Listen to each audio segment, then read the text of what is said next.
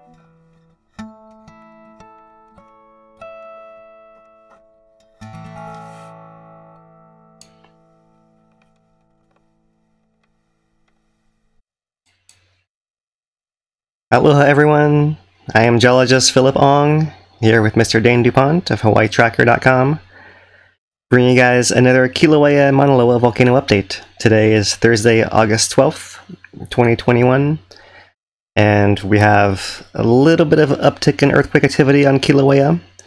Uh, not a whole lot of change in Mauna Loa, and we have a special uh, presentation for you guys on Pele stories, geologic Pele stories, connections based on a USGS release from a few years ago.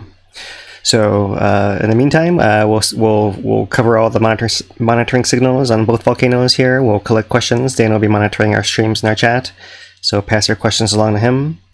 Um, and he will uh, put them together for us at our at our break and after our our special Pele presentation as well. All right. So uh, anything you want to want to say today, Dan, to start, start us off?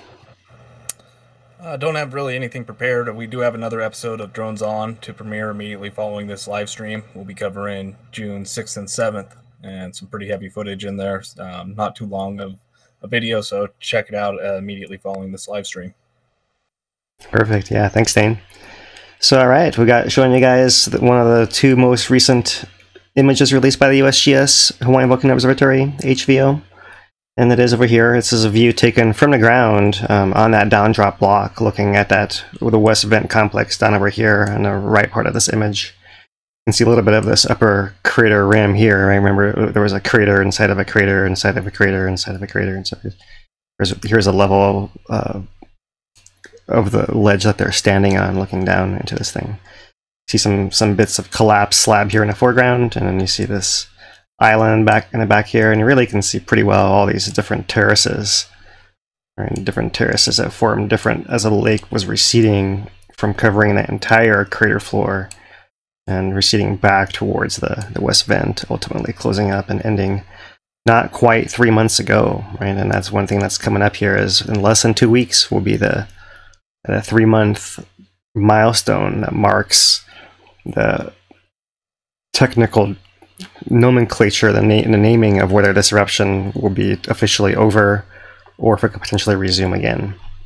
Right, and that's nothing really significant in geologic terms. It's just an arbitrary definition that, that people have, but it's you know it's a something to entertain ourselves with. Since fortunately this volcano is not threatening any people and doesn't look to do that anytime um, in the near future, given the current signs here. So um, all of activity has been upticking in the summit, kind of underneath this region up here of this lava lake. Um, you got to remember that one thing we've been keeping track of is that this surface has been tilting a little bit in this area where it's been measured over here with that automatic laser rangefinder, and perhaps it could just be some local variations, but you know, there's also the possibility that since the interior of this entire pond is still liquid lava, that could be tilting a little bit, and tilting is not exactly sloshing, but you know, you could be uh, displacing some of that more mobile liquid and causing some slight changes in the surface in that in that manner. So that's interesting to see here. Me, let me zoom out here so you guys can see the source of this is August 10th uh, views of Halemaumau at the summit of Kilauea from the USGS. They're talking about how they're collecting um, photos across the west and south rims of Halemaumau. And they're going to use uh, that use structure from motion software to create a 3D model of that crusted surface from that ground pass. Right, they've done that with helicopter flights before, and they've done that with uh, some drone images before. So one more way to do it, um, walking around on the ground. So interesting to to see that. So yeah, Mike Zoeller with a photo there. And then one more picture um, from a few days before, on August 6th, of a GPS campaign going on um, in this area um, of the Ka'u Desert here. So they're saying this is an annual campaign where they are they will temporarily deploy in instruments in addition to the, the all the permanent ones that are online, and then they can compare those on a yearly basis and get a bigger tighter, denser grid network of what's going on across the whole volcano. So that's something we'll await, await results from at some point. And you can see that they're uh, monitoring Kilauea, but nothing is going on alarming enough to stop them from their regular summer field work, is what's happening now. So as a field season continues here and ends here at the end of summer, you can imagine that these campaigns are going to be ongoing right, until activity picks up enough that they are forced back to something more short term. So, look at the monitoring, monitoring signals. Here's the infrared camera. Really no change. Uh, still those similar hotspots. Not seeing quite as many, but there are still some hotter spots here in that outer rim edge of that crusted over lava lake. Some spots that appear a little bit hotter than others, as well as that west vent area. But really, the hottest temperatures there are in a range of 200 degrees or so Celsius. So it's really not as hot as lava. It's just the, the heat escaping from that still molten interior uh, of that thing. And since we were keeping track of that changing depth of the lava lake surface, here it is. It was going down and it did this kind of weird little wiggle right here. That's what we're talking referring to there. A couple of these little wiggles. And actually now it seems to be kind of steady again. It's interesting how it had a couple little dips and what's going on there. The overall trend has stayed the same, and um, some curiosity we can look into in the future once again here. But um, overall, the long-term trend seems to have resumed. There were those couple variations, but there's nothing alarming happening there either. It's not like it's really tilting and looking like it's gonna um, burst through or anything like that. Right? So not no signs of imminent change there. So really it's all on the earthquakes, but before we get to the earthquakes, where we spend more time, let's cover the rest of our deformation signals here. And here's our uh, tilt for the last two days in this upper panel. You can see there's been a deflation inflation trend here, not very large. Um, one and a half microradians there. If we go back to the last week here, we can get a little bit better view. Maybe we're talking about four microradians in total deflation, and it's coming up kind of slowly. It's not our typical really sharp down and then really sharp up. It seems to be kind of wiggling its way around. So it may be more to do with the movement of magma um, locally causing small changes, right? This is only four microradians. It's not a massive change. Um, very small, minor adjustments as it's as, as it's filling filling up and, and, sending magma into all the different corners that it can reach in its reservoir system there. Um, one thing that I kind of imagine is, you know, where you know, I have I have kids that go to the beach and so we blow up these strange inflatable shaped things. So you start blowing up one of those things and you try to blow around a limb. It takes a certain amount of pressure in one of those big long tubes to like get around and inflate the wing of that flamingo or unicorn or whatever it happens to be kind of thing. And so maybe something to, to an analogy to maybe help a little bit. Although maybe I didn't deliver it quite as well as I could have there. Still, you can see over the last month it's been an overall inflationary trend with only a little bit of these little variations. This one looking more like a regular deflation inflation this one over here looking not so much like it, but still having a deflation inflation pattern. And then this larger one that we see here that just occurred uh, on the ninth, uh, evening of the ninth year, and um, hasn't quite recovered from that small 4 microradian change there. So over the last month here, you can see that we're in a range of 10 microradians overall, and from minus 5 here to positive, somewhere like in there would be five or so. So not quite there, but maybe averaging it, it out right there. So, so um, yeah, that's the the the tilt plot. It's inflating. It's not changing very alarming. It's pretty slow and you know slow and steady inflating there. Um, and even this little variation isn't anything massive, even though it's interesting and noteworthy as well. So here's a GPS, and the GPS looks like it's a data point short here in the end, but we'll see what happens with that. But it's still not showing any any change there. Pretty steady, definitely increasing at a fast rate, not at an alarmingly fast rate like you might imagine something like this was, right? When I was doing that earlier on. We're not seeing that. Zoom into that that area right there, right, right here. If it starts doing this kind of thing, that's when it's alarmingly fast. And that was that time of the intrusion. And this was the time, time of the eruption that followed it right there. So it's not looking quite like that, although it is coming up pretty fast. Right? No change and no acceleration of it is the noteworthy trend there. So that's essentially everything apart from the earthquakes. Um, we might, might, as well check it on East Rift Zone. There is a little bit of a little wiggle and tight curve on here also. We're also also missing data point here, so maybe something on the software side here. Um, but the scale over here is half a centimeter, one centimeter, half a, two centimeters. So this is really tiny little changes at Pu'u'o'o compared to the changes we're seeing at, Pu at uh, Halemaumau, right, where the scale is five centimeters for each of these um, hash marks here. So uh, much quicker change and why it's more noteworthy. So cut to the chase here, the earthquakes. This is the past week of earthquakes on Kilauea. Let me zoom into it so you can see it a little better here. Um, it's showing 660 earthquakes over the past week. That's getting up there for a number of earthquakes in the week, um, so we'll look at that here shortly. Uh, you can clearly see delineated the summit area around that active lava lake area. Uh, you see there's an interesting little cluster over here by Kilauea Iki, which is interesting. It's kind of on its own there. Um, you see a little trend of that upper southwest rift, maybe barely a little bit, but much more so you see the seismic southwest rift expressing over here to some degree. And really the, the star of the show has been this um, upper east rift or east rift connector area right here. That's really been flaring off, um, going uh, up, migrating down that, that, that connector to that main part of the east rift zone over here which is also showing seismicity um, elevated, right? So you see a lot more around its rift zone area than we have seen before as far as Pu'u'o'o.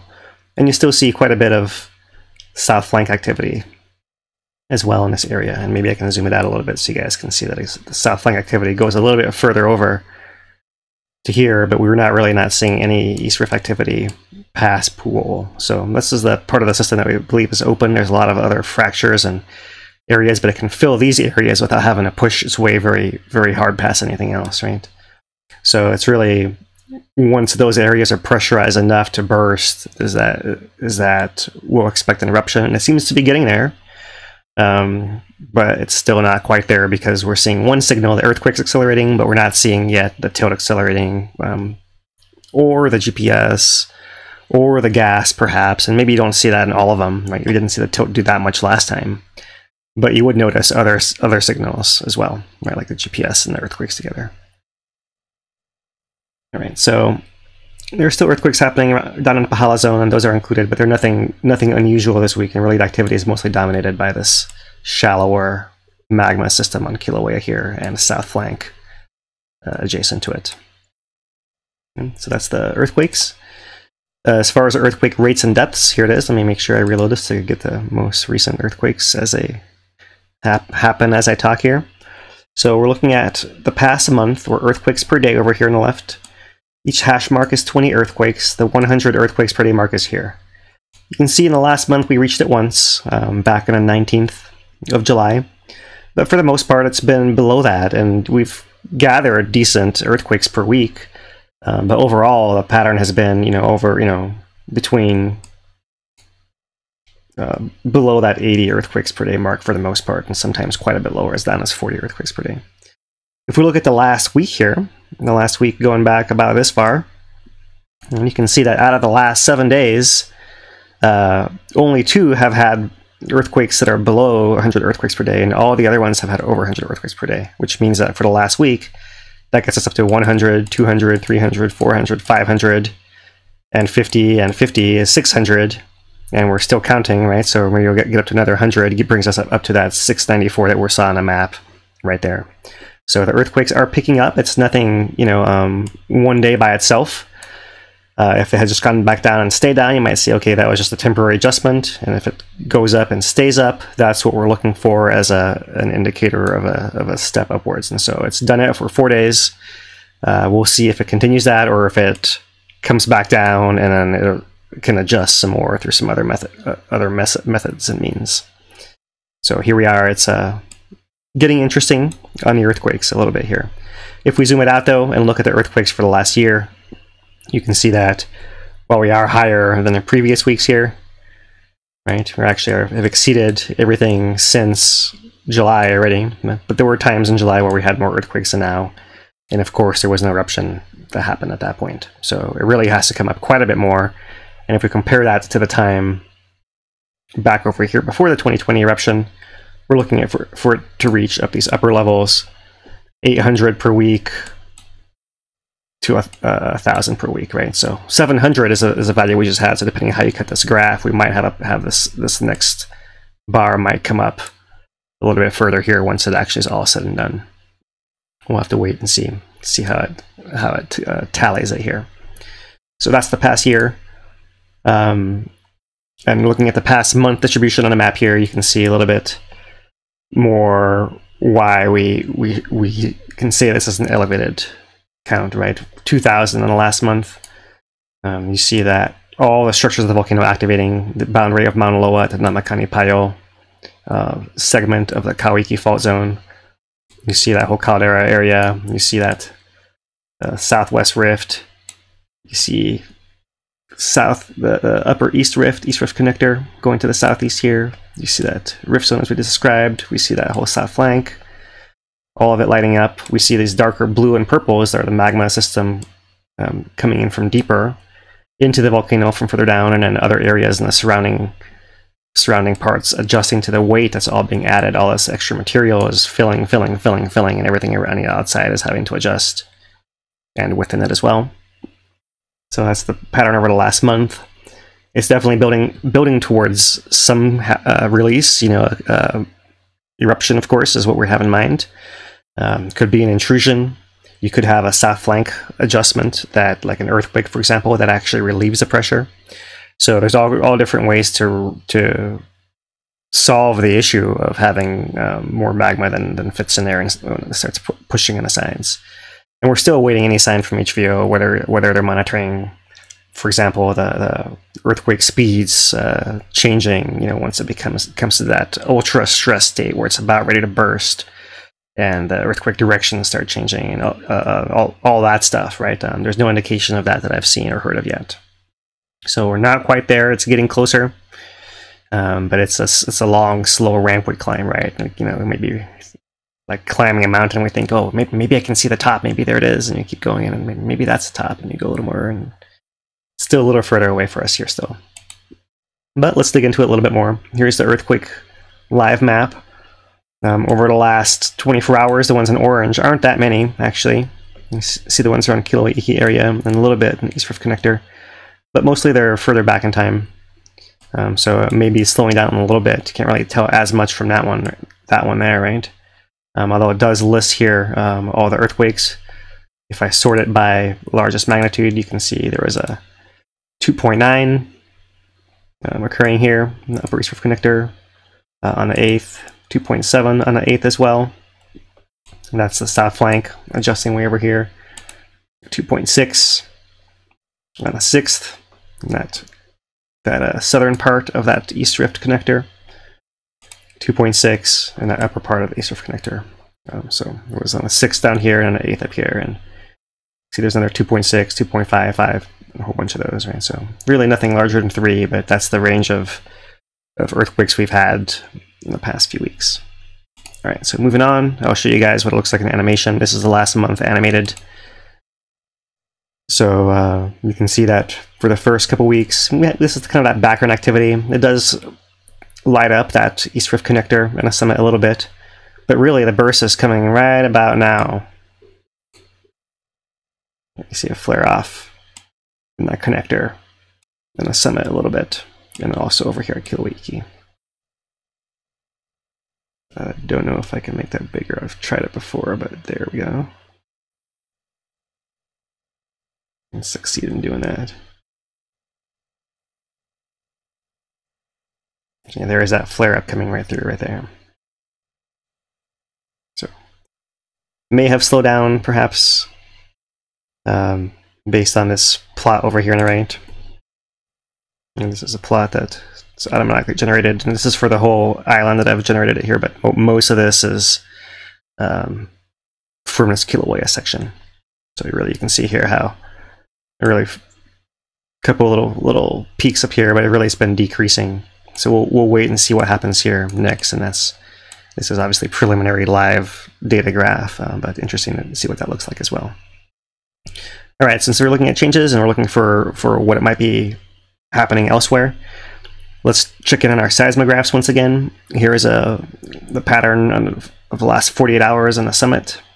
And it's interesting to note here that over the last 48 hours, right, you know, um, there's actually a little bit more signal coming in, right? And this is this is possibly due to more traffic, or maybe it's the the wind is different as far as rain or wind or something like that.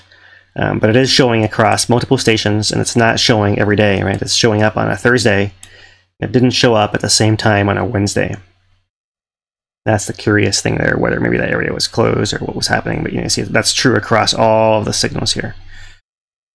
Um, so perhaps there's a little bit of tremor picking up there. Um, that would not be unexpected. It's really when we start seeing that um, really blotting out this graph with so much ink that we can't tell what's going on in the middle. That's that's when we'll be more alarmed. But interesting to note that there is some tremor there. It's something that's been ongoing, of course, um, but you can still see it happening so thought we'd check in on that. Um, some of the other stations further away are a little, little more uh, uh, muddied or harder to, harder to read, harder to see. But you can kind of see as far as the earthquake pattern. You can see these little you know, darker spots. Those are the earthquakes or other rock falls or similar kind of things. There's not ungodly amounts of them, so that's that's kind of normal to have this many going on. Right. So maybe there's more more smaller ones, and you know, maybe maybe if we start noticing every little dot on this one, it's a little little bit. still you can see that elevated pattern right through there. Yeah, nothing really jumping out as far as here's a station where the ground is shaking a whole lot more than everywhere else. Okay, so a couple more Kilauea things here. Uh, checking in the tilt, we've seen Uwekahuna rising with a small little variations. Sandhill also rising. Kilauea Iki, I'm glad to, glad to note, looks like it's coming back online finally. Over here. And summer camp is a little bit more online than it um, could be, could than it has been in the past. So it's interesting to see it too, is showing showing that change as well. Okay, going down to East Rift. Um, not a whole lot of obvious change. Small scales on Pu'u'o, Jonica, um, South Flank as well. So GPS, nothing really jumping out. The Uwekahuna signal we showed you guys, the, the lengthening between the north and south of the caldera is the pretty typical pattern you see just about everywhere. Um, it's it's not quite to the same level, same steepness as you see going up to that 2020 eruption, um, but it is rising pretty fast there. So kind of scrolling down there, you can see there's nothing really alarming happening um, anywhere, including down at Pu'u'o. You, know, you do see a lot of this tilting to the east of everything as you imagine that East Rift connector is swelling as well as that Summit Caldera as well. And definitely nothing happening here in the lower East Rift zone. Just to check in on that and make sure that that's covered too.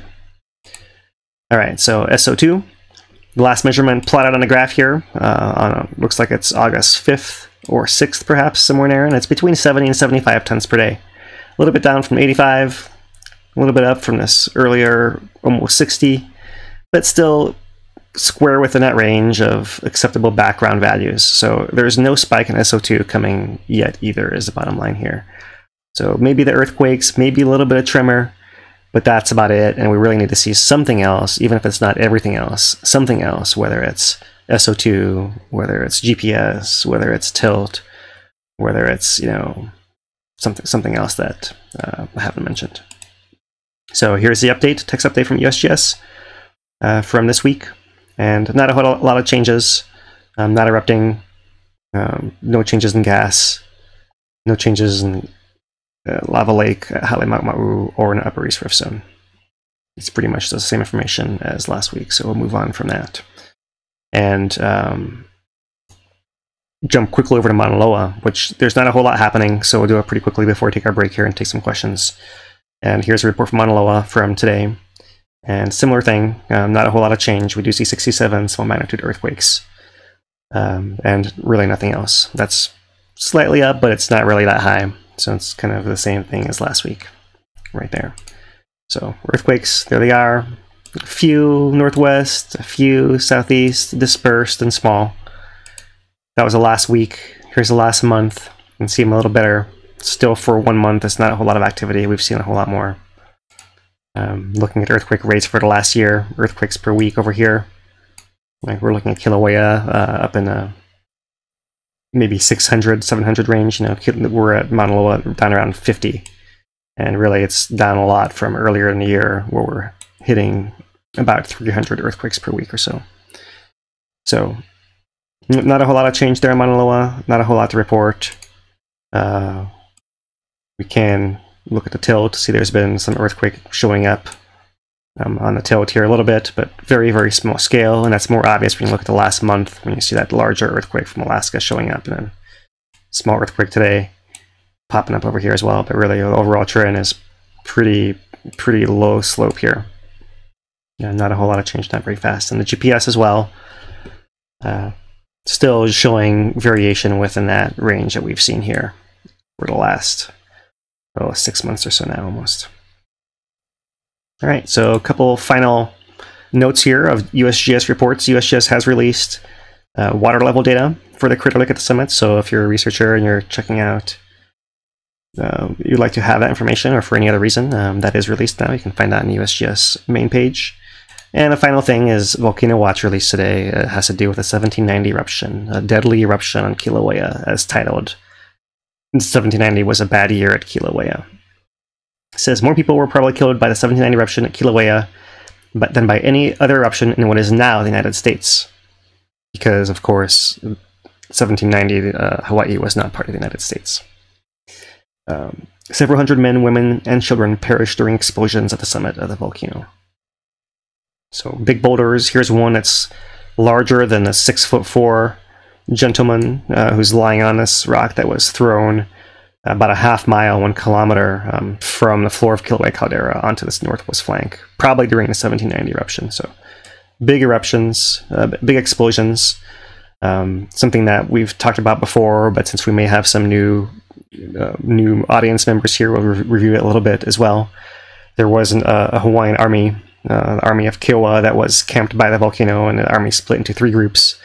And as they were exiting, the middle group was the one that got blasted by an apparent uh, uh, pyroclastic base base surge, like a hurricane force winds of hot steam and ash uh, that were suffocating, and um, that's likely what killed those people. And when a third when that third party of, of warriors in the army, right, and armies in those days were not just the the men, but also their families and their their animals that they were uh, campaigning with, right? They needed to feed themselves and as they marched around. Um, all of them um, um, were, were enveloped in that second group, and then a third group coming upon them um, found them all um, in embrace, uh, lightly scorched, but nowhere nowhere burned, um, which was interesting, right? So it was really like a suffocation kind of thing, and and, and the accounts of deaths have varied widely, but uh, that is likely, right? Likely to be uh, several hundred women, men, and children. Uh, caught in that blast. So uh, they do go through uh, uh, mentioning Don Swanson's uh, studies and publications there. They talk about the three explosions with that were took place within minutes or hours. One of them that was wet, right? So maybe there was water down there that when it blasted up, all that ash got got soaked in the water and it fell down as mud, and that's something that could have been imprinted by people walking around in that, in that time and left a lot of those footprints in the Kau area, Kau, area, Kau Desert Trail. Um, but then you had uh, uh, the second large explosion that rose up to 40 or 50,000 feet. And then after that is the one that colla- when it collapses down and it spreads sideways and envelops the, the army. So that there's a lot more detail. I don't want to read the entire thing for you guys here. So um, we'll leave it at that. Um, but there is uh, some more information about the the causation, perhaps whether it was uh, fresh magmatic gas or whether there was groundwater involved. Um, it probably was occurring in a deep caldera uh, near the groundwater, but whether the groundwater was responsible or not is the question really there. Um, and uh, so uh, the extent of the collapse is also not not exactly um, demonstrated there. So something something to to look at as well. One interesting thing, there is an age of a lava flow in Lower Puna of 1790, but they do note here that that is an interpretation, not an observation. If the flow were erupted in 1790, then by analogy with 2018, then that could have been linked to a summit collapse uh, along with explosions like that, right? That could have triggered explosions. So it's not enough evidence, uh, speculative, um, but that is up our alley there. That's something that that is a possibility, a possible model for us to consider as we try to um, come to terms and, uh, with what this volcano is, what it does, and how we live on it there. So that deadly eruption um, back in 1790 is something that, of course, we want to study to make sure we avoid in the future. And we'll come back to talking about this when we come um, full circle with our stories of Pele, which are next. And uh, they are coming from this USGS Open File Report 2017 compiled by uh, James Kauahikaua and Janet Babb here. That was a workshop combining traditional Hawaiian knowledge with scientific thought, and so that's that's our teaser for what's to come. But before we do that, we will say some thank yous.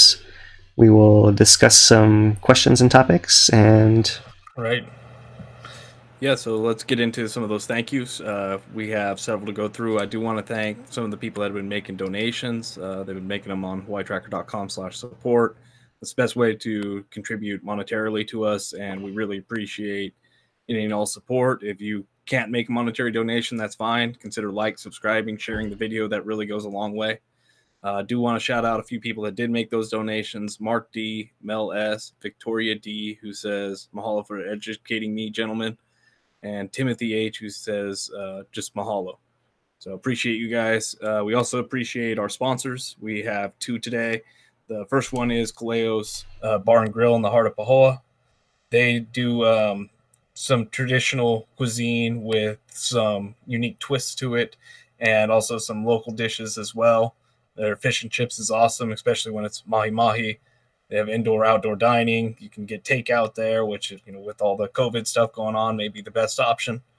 Uh, but you can ch- check them out. They're right in Paul. If you're visiting or local, it's always a good place to uh, stop by and grab some food. Um, so we appreciate them and their continued support. Second one is Kalani Tours out of the Kona, out of Kona.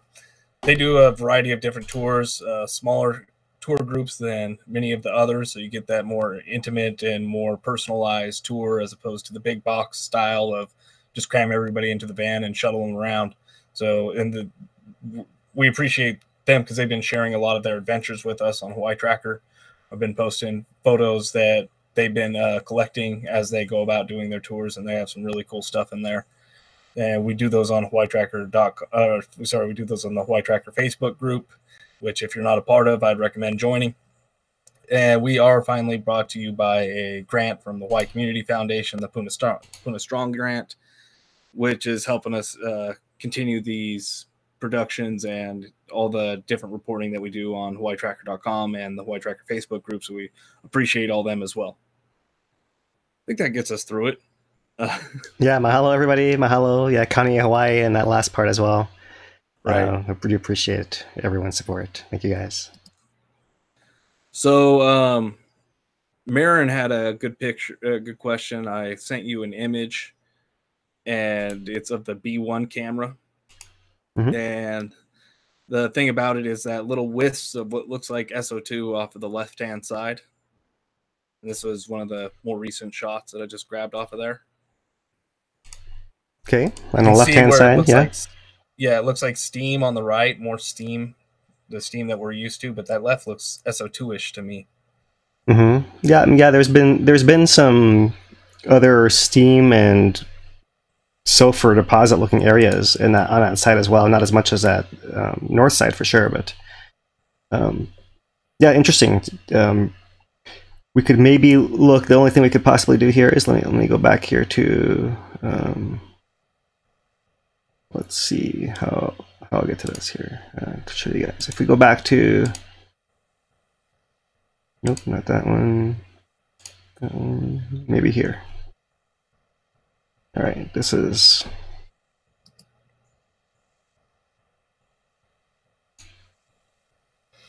this week. And if we go to the past month,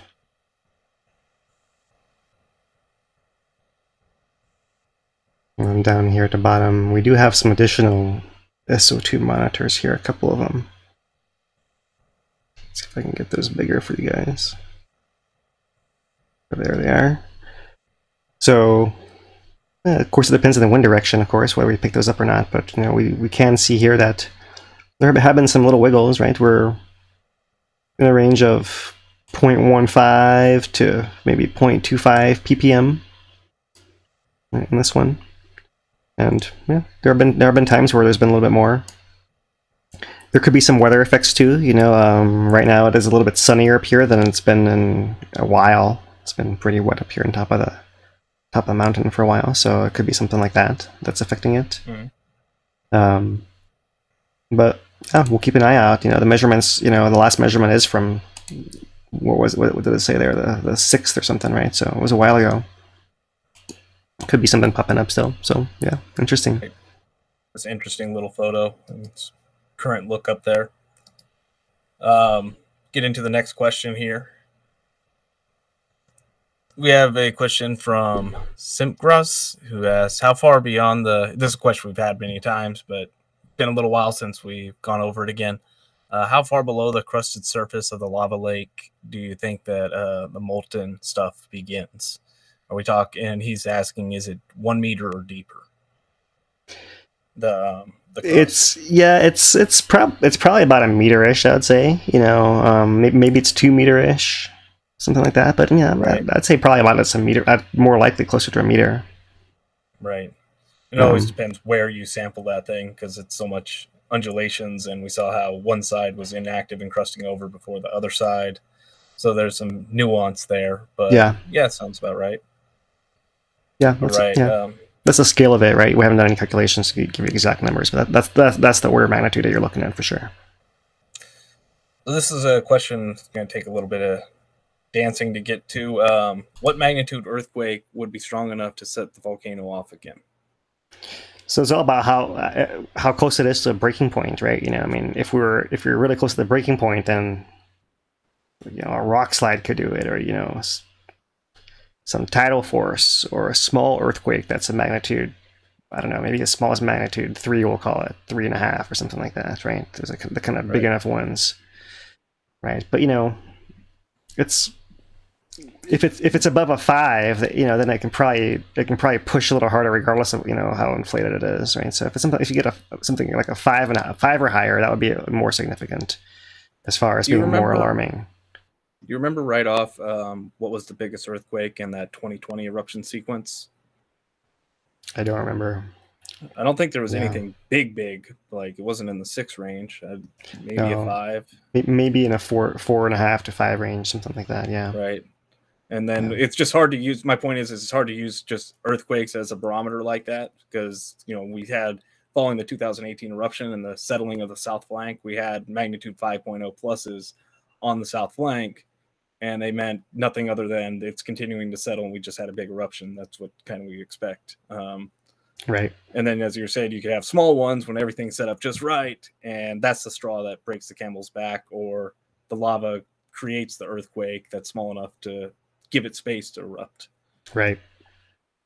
But yeah, just interesting. Um, this next one is going to be it's going back to your your hotspot to, uh, talk that you presented a few months back, and it's um talking about the continental crust and the uh, the subduction, Mhm. the oceanic crust. Um, what's the density? Is there a density difference between the types of crust, and what causes that? Yeah, th- yeah, that's that's absolutely right. Yeah, so um, the subduction does happen. Um, it is the oceanic crust under the continental crust every time, um, because the oceanic crust is denser. It's made of basalt. Basalt's about 2.7 grams per cubic centimeter, more or less. We'll call it right. That's kind of the, the oceanic cru- crust at average density, if you will, very generally. Um, and then the continents would be something like a 2.3. It's just something like that granitic composition is just a little bit lighter. It's not a huge difference, but it's enough that when you're smashing continents and oceans together, the oceans go down. And then when it comes to ocean versus ocean, it's a matter of which one is older, because at that that point, with the same starting material, whichever one is older um, is going to be colder and slightly denser because of that, as well. All right. So, yeah. So, for this last question, we're gonna have to make some assumptions. Um, let's assume that the lava lake is hardened and cooled. Right. It's uh, it's gone through the process, and we now have a hardened plug there, or whatever we want to call it, um, sitting in the crater. Would the is it possible for a lava or water lake to return? Well, it, it, it would be completely filled. The, the the rock is filling the spot where the water would be. Right. so you wouldn't see the water anymore.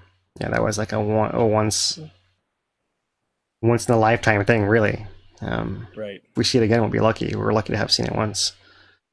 Right. And just the nuance there is that the collapse pit got so deep in 2018 that it went below the the water table. So we actually got to see that water table with the naked eye, which is in- incredibly rare to be Mhm. able to do. There's legends of it, but not in modern times, not with observational science around and all that kind of stuff. Yeah. Yeah, exactly. All right, well that will that will do it. Um that'll do it for this one. I will get another batch of questions for the end. If anybody has anything uh, related to Pele and the legends, the next part would be a good spot for that. All right, and I'll preface that by saying that I'm not I'm not a Pele expert, and I'm taking this presentation uh, uh, largely from uh, these two guys uh, that presented as part of this workshop uh, that occurred back in 2013. Um, but actually, uh, the report was released in 2017. So, uh, conversing with Pelehonuamea, a workshop combining a thousand plus years of traditional Hawaiian knowledge with 200 years of scientific thought on Kilauea volcanism. And the two uh, people I'm going to uh, uh, borrow heavily from here are uh, Don Swanson, um, who's going to talk about the second part of the, the story here when when we lean on geology of Hawaii Island um, for more recent history. But we're going to start off with uh, Dr. Scott Rowland uh, over at UH Manoa, who was part of this as well. So if I can step forward here, he actually teaches a course uh, uh at UH Manoa that uh, has has this as a small, small piece of it. Um, but he talks about uh, the idea of Pele traveling down an island chain as the first geologic story uh, that is uh, overlaps with a Pele story as well, right? So the story, you know, there's kind of kind of two layers to this, and let's talk about the, the more general version first. The idea is that uh, Pele first came to the islands in the northwest and worked her way down an island chain towards Hawaii Island, um, and so um, by digging down into the ocean and trying to find a spot warm enough to to make her home, um, she was able to to help uh, eruptions on Kauai, then Oahu, then Maui, and then finally made her home here on Hawaii Island. Right, that's and you know that's the age of the islands. You know the hotspot is is relatively stationary, and the plates moving over it. So we have Kauai as the oldest island, followed by Oahu, followed by by Molokai, Maui, and then um, the big island, Hawaii Island, island of Hawaii. Pardon me. So uh, uh, that's the first order, right? Okay, she just traveled one way, and you know that's the the ordered islands is tracked by by the stories, and um, of course we you know this is kind of not giving enough credit to the uh, observation skills of the early Hawaiians. Clearly that wasn't meant, but that's only the very very surface level here. And so Dr. Rowland has had has uh, done a, a, good job presenting this um, to uh, at this workshop, talking about this idea of rejuvenation as far as it being maybe that second deeper layer of what might be going on with this Pele travel here. And so, um, first off, to uh, show uh, these are all slides from from these guys' presentations uh, as part of that release. And he does note that uh, um, that is something that he wrote um, for the Oregon State website. I'm talking about the progression from old to young, um, but it's pretty much widely accepted. That's that first level of detail there. But as far as rejuvenation, rejuvenation means that the volcano stopped erupting for some significant amount of time and then began erupting again. And so what he's done here is marked on for each of these islands the times of how long they were not erupting. So West Maui was not erupting for half a million years. East Molokai was not erupting for 1 million years. The Ko'olau and Oahu were not erupting for 1.2 million years. Kauai was not erupting for 1 million years. Ni'ihau had a 2.6 million year gap in its eruptions there, where it stopped erupting altogether before it picked back up again and went for another not quite 2 million years there. So um, there are there are islands already sitting there essentially in a more recent layer, and then they are rejuvenated by activity, and you maybe could could consider travels of Pele to be linked to that rather than the original formation of the islands. Uh, so that's what he presents here, and we'll, we'll keep at it here. And he uh, is assuming 9 centimeter per year plate speed. You know, um, that's uh, bringing all these other islands back towards where the hotspot would have been, somewhere in a, re- in a region of here, right in there. And he's got them marked in red for when they were essentially erupting, that main main shield phase. In blue, where they stopped erupting, and in yellow, where they began erupting again. So you can see Maui began erupting right around there, and Ni'ihau began erupting when it was over here somewhere. Erupted all the way until fairly recently. And you can see that uh, Kauai began erupting way back over here and erupted all the way until fairly recently also. And Oahu, same thing, began erupting back over here and erupting until fairly recently. So you can see that a lot of these have had a lot less time since rejuvenation than the actual rejuvenation itself. Right? It's a fairly interesting time to be a human on these islands here, right? And of course, Hawaii Island is the active hotspot here. So coming into Ni'ihau here, this is the Kiekie volcanics. Uh, shown in red here, this is all the rejuvenation state volcanism. And it includes uh, um, an area here in the north. It includes this little island that we'll mention here shortly. Uh, and includes areas on the southwest, all through here, and also this very southern tip over here as well. And so the main shield phase, the core of the island, is over here. It's this big uplands over here. That main shield is between 5.5 and 4.8 million years old, that high uplands. Right? It was active for 700,000 years. Uh, no eruptions for 2.5 million years after that. And then they erupt for 1.9 million years in the more recent phase, and Ni'ihau last erupted 300,000 years ago. So interesting. A photo by Craig Rowland here, who is likely related to Dr. Scott Rowland. And view from the north of Ni'ihau and Lehua Island. Here is that island right there. Right? And so from kind of Helian wise, the chants uh, say, uh, I won't read the Hawaiian because I don't want to do it misjustice here, but uh, translated on as we landed next to an island known as Lehua. So Pele is said to have landed on this exact island, not necessarily on the uplands, but on this rejuvenated part of the island right there. That's interesting to, to note.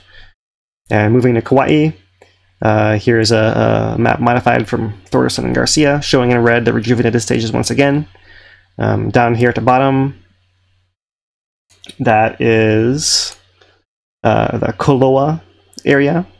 Zoomed in right here. Here's that old photograph that was included in their talk. And I added in here a Google Earth view of it. And so there are actually um, cinder cones. One right there, right where all of houses are built. Two, three. Mm, this might be one here in here four as well, right? More visible, maybe over here. One, two, three, four, right in there. Right, showing one of the places that, that Pele visited in Kauai. So the Koloa area, and in fact, all those volcanics in Kauai are called the Koloa Volcanics, uh, named after this spot, right? With very uh, young-looking volcanic features. And of course, Kauai is very old, so you don't see a whole lot of those in other places, but you do see young volcanic cones in areas like this, and that's because of this whole rejuvenation aspect uh, of eruptions on Hawaiian, Hawaiian Islands. On Oahu, uh, you see similarly lots of rejuvenation, rejuvenation products over here. Right, so he'll step through these and uh, talk about uh, Salt Lake, uh, Aliapa'akai crater, Salt Pond crater. Uh, Pele, Pele dug the crater and some salty mucus from her eye fell here, according to Pukui, place names of Hawaii. Um, or according to Westervelt, who maybe embellishes a little bit more, but uh, has knowledge that's not stored anywhere else. Uh, he says, There she dug a fire pit. The earth, or rather the eruption of lava, was forced up into a hill which later bore the name of Ke Aliamanu. Aliamanu, uh, Bird Salt Pond, is a place where Pele and her family lived for a while. And when Pele left, Pele dropped some salt, and the pet bird of Hi'iaka, Pele's favorite sister, escaped. Once again, from place names of Hawaii there. Some interesting place names, you know, um, telling, connecting the, the, the, the lineage of Pele to this place, of course, as well on Oahu. So, but young volcanic places that are, you know, are given these volcanic stories because of young eruptions than anywhere else in the islands. Um, likewise, Leahi, also known as Diamond Head, uh, Koko Rift in the background here. Um, here she threw up a great quantity of fire rock, but at last her fires were drowned by the water she struck below. And of course, this is a story that goes back um, into into the battle between Pele and her sister. Um, but uh, it's important to note that back in Polynesia and areas of Tonga, there are eruptions like this where magma and shallow ocean water interact, causing these big explosive eruptions every two, two to three years for a long, long time. So it's likely that this is something that the early Hawaiians uh, would have carried with them in their cultural knowledge from Polynesia. Right? So, um, in summary, here, um, many, but not all, because there are places Pele went to that were not uh, rejuvenated volcanics. Right, there are other areas that are maybe of cultural importance or other things like that. Uh, many, but not, not all the places on the older islands that are associated with Pele, and especially with Pele fighting Namaka Oka, uh, Namaka Okahai, Kahai, her sister, uh, the sea goddess, turn out to be locations of hydromagmatic rejuvenation stage volcanism. The youngest is the Koko Rift on Ko'olau, about 40,000 years old, so nobody actually saw the eruptions. But as you know, its past generations undoubtedly witnessed violent hydromagmatic eruptions, perhaps in Tonga there. So um, I've taken here an image by Herb Kane that's famous in the walls of the Jaggar Museum. And if you, if you want to find, um, you can now buy prints online, herbkanehawaii.com. Um, get all kinds of fantastic art, artwork by by the artists that I consider to be the, the Hawaiian Renaissance man, like the like a Michelangelo. Uh, right. So, without getting derailed here, here is his image on the left here of Pele and Namaka fighting um, as she's digging her fire stick, and I've just superimposed her on the right. Uh, perhaps where that knowledge might come from, those eruptions in Tonga, something like that. Yeah, taking a little little artistic liberty there. Okay, so what I want to show you guys now is a, um, a little bit of the tail end of that, right? Because we we are going going from part of the story where it really occurs before people were around um, to the modern geologic record that was witnessed by people who were living on a volcano. Um, but to connect it to the uh, the story between the Battle of Pele and her sister Namaka, um, in many versions ends over in Maui at a place called Ka'ivio Pele, the Bones of Pele, over in East Maui. Um, that's a cinder cone there. Um, and so um, uh, there are a couple versions, right? But in one of the versions, uh, Namaka comes and finally um, catches up to Pele there and um, then kills her and strips her body uh, of flesh, as was the tradition in Hawaiian times, and her spirit's what lives on and then travels to Kilauea from there, right? Um, some other versions uh, talk about how um, maybe she just lived there and died there naturally, and then her spirit moved on. But uh, in any case, Ka'ivio Pele is the place that Pele is said to have traveled from. And here's an animation of her, whether it was her spirit coming from Ka'ivio Pele, that cinder cone over here on the coast of southeast Maui, um, around coming onto the Puna shoreline at Kiahialaka. I think that was a place that was famous during the 2018 eruption. We'll revisit that in the future. But from there, she migrates upwards to Halema'uma'u at the summit of Kilauea. And that's that is the path of Pele onto the island here. Um, so there we'll turn to the geology and the geologic record, and now we're going to turn to the work of Don Swanson. And Don has done all kinds of work on the Keanakako'i ash deposits in the area down over the, down uh, southwest of the caldera, uh, including within the caldera walls there. And all that work has, has produced this um, now accepted 300 year section um, of ash deposits and other kind of fallout, right? You can see some examples of how he's really studied this at length, you know, with the shovel digging um, figure out what's the top of what and what what order everything came in, what connects to where, and he uh, put this all together uh, in a presentation, which uh, is a reminder to me. You know, this is all speculative, of course, speculative correlation between oral traditions and volcanic history of Kilauea between 1200 and 1800 of the Common Era here. So, of course, uh, uh, the the earlier Pele's path is, you know, also speculation. It's interesting to see how that might fit together. And of course, this was presented uh, in the light of um, uh, prompting um, cultural practitioners um, to look at these stories once again and see if there are any matches from there, right? So it's worth going out on a limb a little bit to see, to see if there's any connections that arise from that, from those planting of seeds there.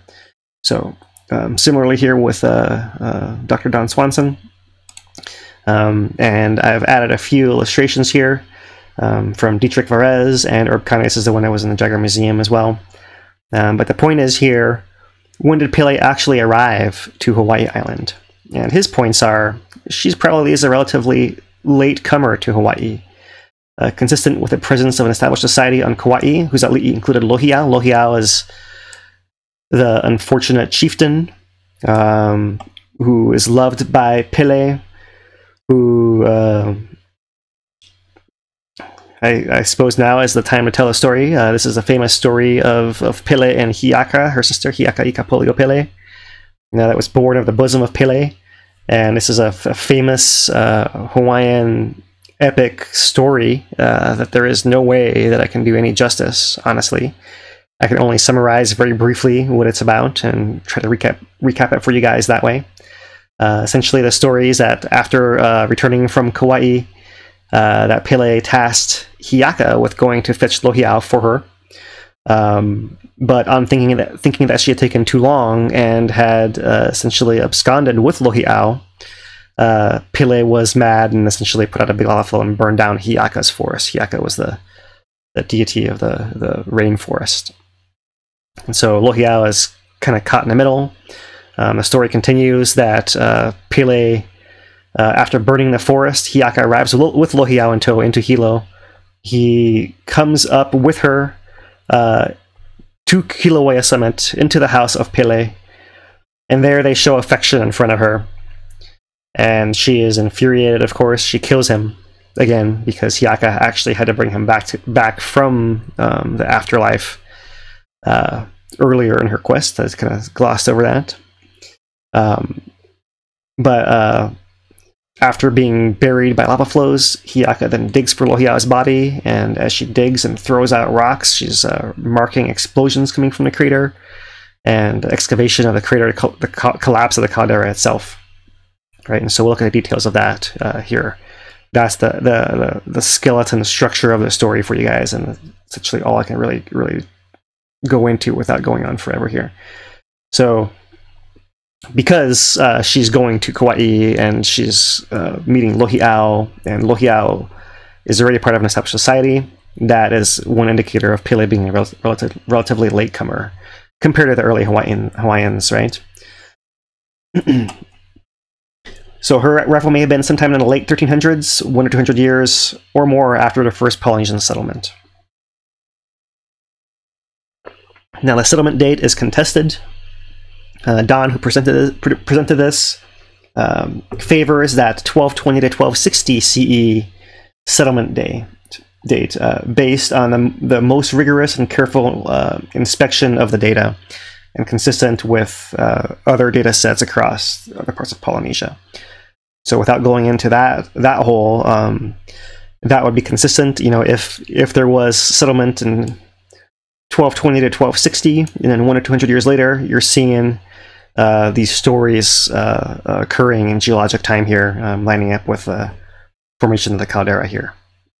Right, this bottom shot here by Dietrich Varez. I want to make sure we don't miss this this one that was in the Jaggar Museum for so long, right? Showing the the approach of uh, uh early Hawaiians to early ocean entry, perhaps encountering the elements of lava and snow visible on Mauna Kea here in the top right, um, all in one place. So I put things a little bit out of order here from what, how Don presented them, but there is a question of Aila'au. Uh, Aila'au uh, doesn't come up in very many translations. There is Westervelt um, that suggests that Aila'au ruled over Kilauea before Pele arrived. And so this is something we'll dig into more in the future. We're just going to mention it briefly here that uh, there there is uh, uh, some um, tension there between Pele and, and.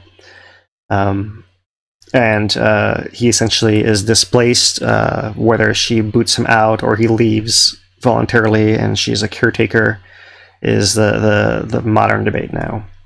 Um, in any case, uh, Au, the eater of the forests, suggests lava flows entering a forest as would have happened during a lava shield from 1000 to 1400 CE uh, common time. Right, so this, thus, the time of arrival of Pele in the late 1300s is consistent with that date of that summit shield. I, was around to build a summit shield, and looking at the geologic map here, um, it's these kind of purplish lava flows over here, right? They're called the observatory flows.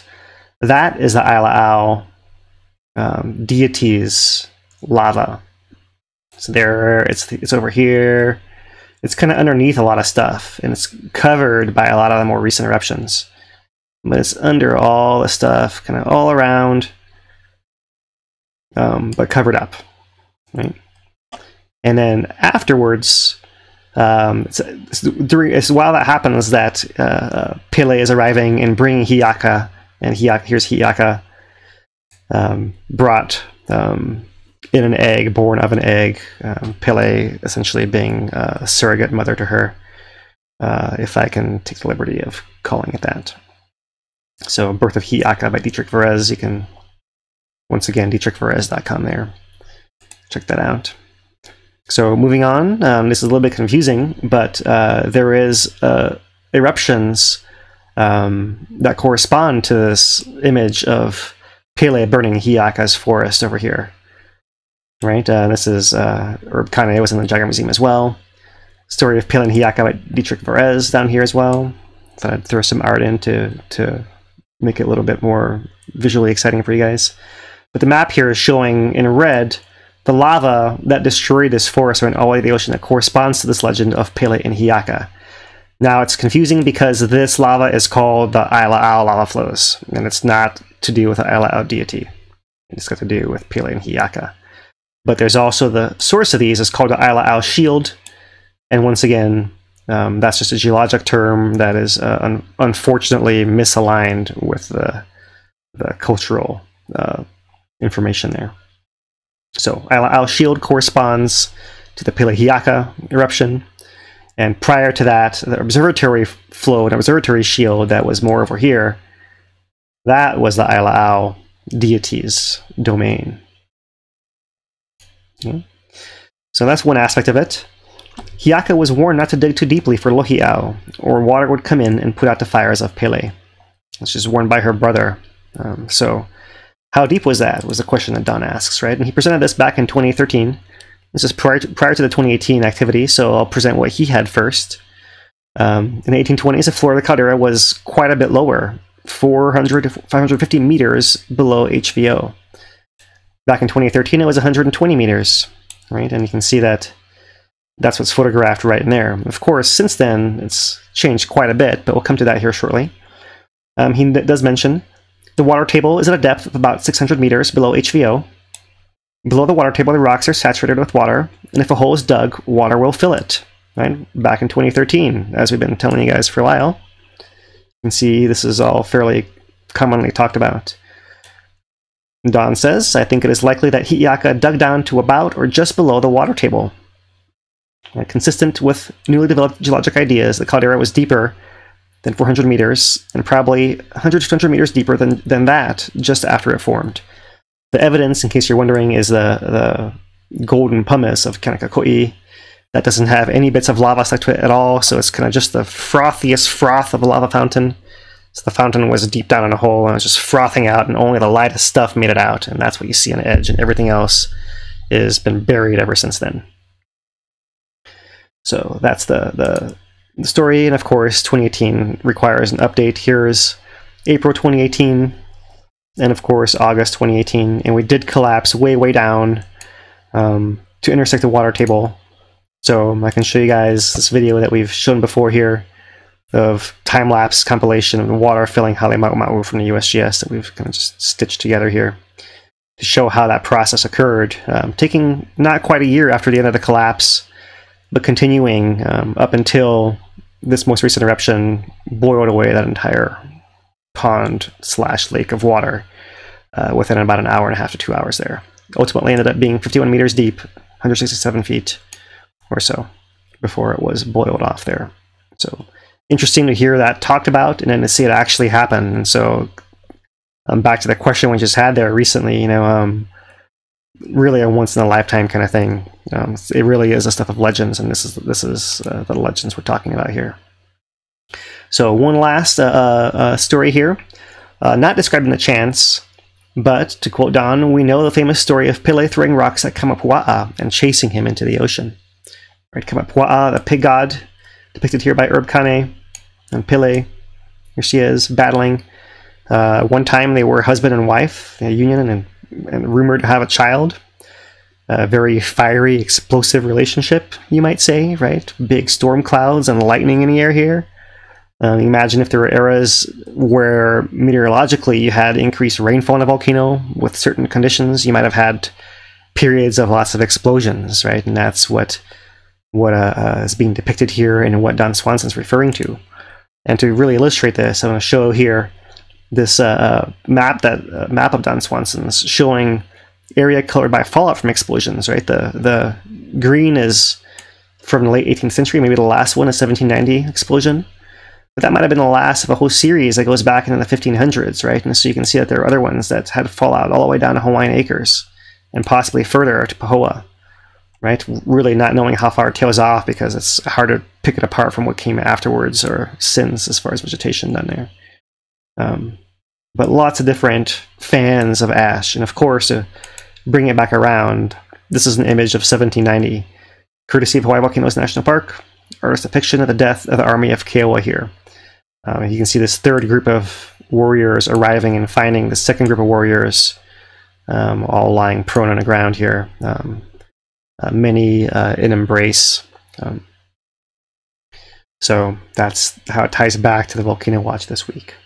So to wrap it all together here, um, from Don, um, geology in the left column here, ages from carbon 14 or other methods, and tradition in the right column right over here, right? So after Pele arrives on the island here, uh, um, or when she arrives, Aila'au is around, building the summit shield, right, with in the era of 1000, 1400 CE.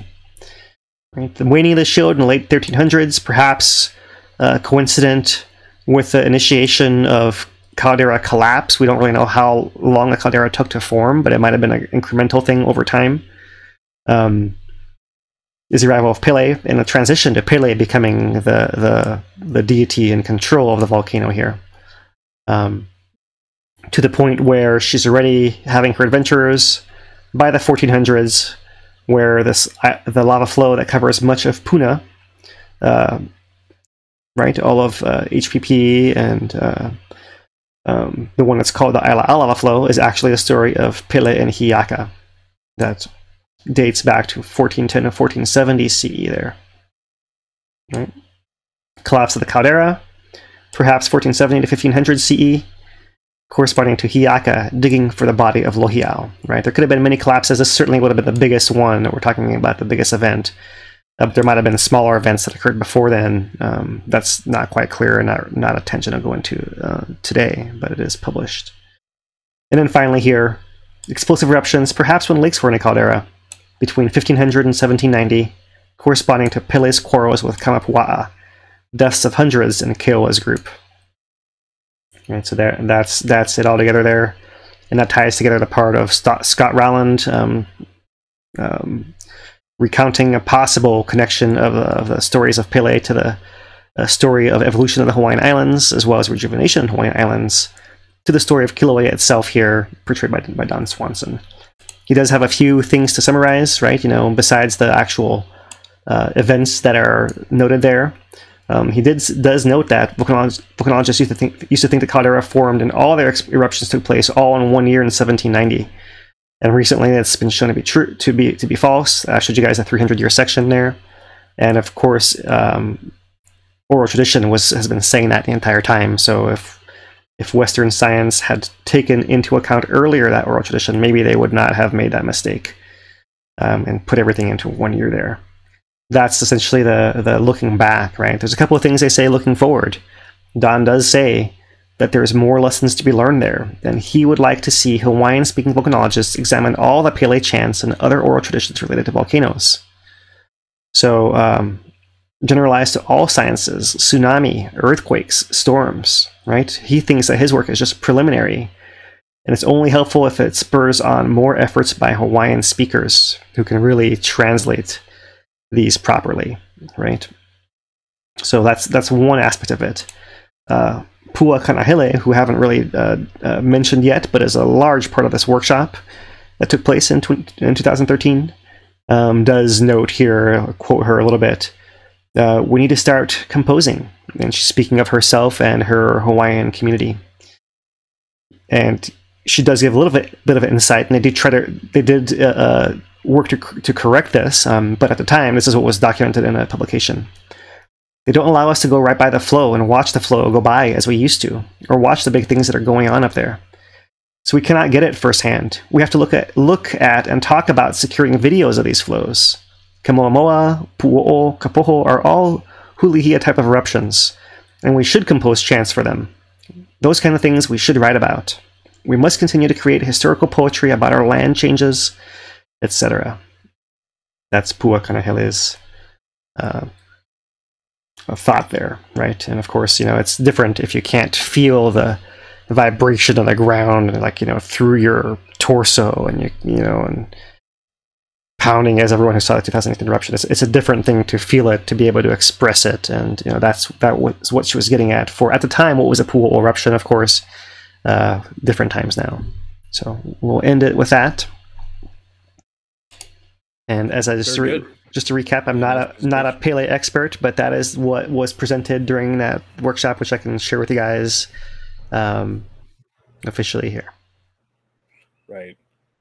And then the story continues from there into the 2018 and the return of of Aila'au at uh, Fissure 8, Ahu Aila'au.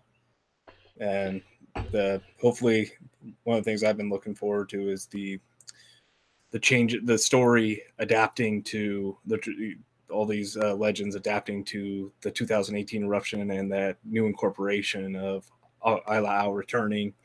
And that's just a whole new uh, trove of you know legends and uh, oral traditions that can come about from that, which is just you know incredibly interesting when you see it firsthand, and then you start seeing the people talking about naming it and things along those lines, just to see that process unfold. So that was a really good presentation, Phil. I appreciate it. That was a lot of people were really into that one as well. Yeah, awesome. Yeah, yeah, and, that, and that's our our story. That'll be the sequel to this someday. We're, we still have to work on that. We need to get, you know, that's that's new. So we need to get Right. more uh, firsthand accounts um, because not everyone knows the stories, and there are important stories to tell as well. And we can tell them in our manner, and then perhaps someone else can can take them up and and you know um, go from there with them. But we certainly have. have is go ahead. Good. If anybody's interested in seeing more about these, we do have videos already made uh, where Uncle Keone Kalave goes through and explains the meaning of uh, Ahu Aila'au and some of the reasoning for selecting that as the name for Fissure 8. And there's, yeah, we have two videos. Uh, they they go together, so we'd recommend checking those out. Uh, just type in Hawaii Pod and Ahu Aila'au, and sure enough, you'll they'll uh, show up. Easier so said, I have a easier said than yeah, done. said than- Just type in I'll type it in chat. Yeah, yeah, I'll type it in chat. How about that? um, so I have a question, um, not from chat, but from me. At what point in the uh, making this presentation did you find out the volcano watch would tie right into it, or did you did you see the volcano watch or hear about it and then be like, oh, I'm doing a presentation on that today? Oh no, no, that, that's just one of those uh, holistic things that I just just worked it into to it today. Right. Well, yeah, worked out well. Um, the two of them together. Yeah, yeah. So we do have a couple questions here. Um, not exactly relating. Oh, we'll talk about the one about the segment that you just did. Not really a question, but a comment. Denise says that this sounds like a lot like the Maori legends and their volcanoes. Uh, she took a EDX course on them, and uh, just the relationship between the legends and the eruptions there. So that's interesting. Um, just the the commonality of certain things uh, throughout the world. Yeah, absolutely. A lot of a lot of native cultures uh, had important reasons to record these natural events, and so you see these kind of stories in essentially every culture, right? You know, I mean, you know, even into Christian tradition, where people talk about uh, uh, flooding of the Dead Sea having to do with earthquakes, uh, opening and closing water pathways in the area. So fascinating stuff. very interesting. Just one little thing about that: there's back in the day before the written word, it, there was a great deal of incentive to be able to come up with provoking uh, stories to be able to preserve them in people's minds and not deviate from the story like the telephone game, right? Where over the generations the story changes. That's one of the interesting things about putting the legends to hula, because then it matches it with the the, the spoken word with a tempo and a dance move as well, or you know, like a movement. And if you get one of them wrong, it feels wrong, right? If you get the the tempo wrong and you have the other two correct, it doesn't feel quite right. So you it pres- helps preserve the knowledge through the generations, and that's always interesting as well to think Yeah. about. uh, yeah yeah times. yeah and and, and we you you could go, you go another another level as well too because uh, i mean uh it's it's uh, how how to how to say it. Um, um, uh, prop me again, Dan. Tell me, repeat the last thing I said. Um, just about the depth of how these stories get preserved and the different methodology in you in preserving them. So you put things to tempo or to right uh, uh, movements. Right, right, yeah. So what, what I was gonna say is that, that like, like the story of of uh, Hi'iaka Kapolei, for example, is is is something that is epic literature, right? And you can't change the words to literature. It's like a poem. You can't change the words to a poem, or you know, or like a song. You can't change the words to the song. It's it's, it's set, right? And um, it was done that way intentionally. And so it would take a master storyteller, and, and, you know, the story of Hi'iaka is rumored to have taken 18 hours to recite. Um, from memory, of course, right? You know, and you gotta get it exactly exactly right. So that the important importance of sharing that is to show how much they guarded their information and and how much effort they put into into keeping it authentic and not changing. Right? If you if you're requiring an 18 hour recitation to to, right. to be a qualified historian, then okay, right. that's a pretty high bar. Right, and it scares off all the volcanologists that are just you know they want the data in a very specific format and it's like oh it's in the, the data's in the the song it's like, oh, okay, we don't have, you know, a lot of scientists are like, oh, we have no way to interpret this. Or it's just like, that's somebody else's, that's cultural, that's not us. Yeah. Until yeah. somebody did it, and then they're like, oh, wow, there's actually a lot here. It's like, oh, no kidding, huh?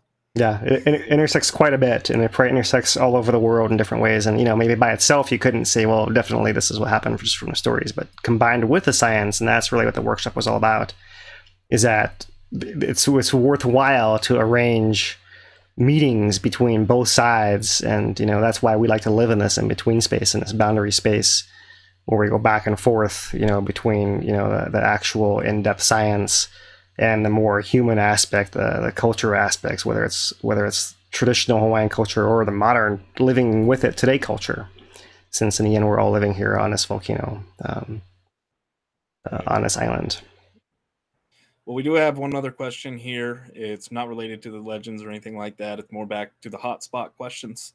Um, Freeman asks, has the conveyor belt of the crust slowed, allowing for the Big Island to get this big, or has the Big Island had uh, time to move off the hotspot enough for the island to start break up as uh, Maui Nui or the other islands have? Right. So uh, it's it's uh, I suppose the first thing to say is that um, it, it, it is partly over the hotspot, and that is keeping it hot and keeping it buoyant and keeping it riding high. So the whole landmass of it is sitting high relative to sea level. Uh, that was the case with Maui Nui, and Maui Nui has since sunk, and only the peaks of each volcano have separated to become islands. So it hasn't necessarily broken apart per se, as rather it's just, it's just submerged, it's just receded. And so the whole the whole bulk of it is still there underwater, and it's similar in size to Hawaii Island. Um, so it, uh, it's a, a, it's a combination of um, yeah, it has happened before on Maui, and once it moves away from the hotspot, you do have some erosion, but more importantly, the whole thing sinks back down, and then the, the, the ocean will flood in between the volcanoes, and each volcano or two volcanoes together will become their each island.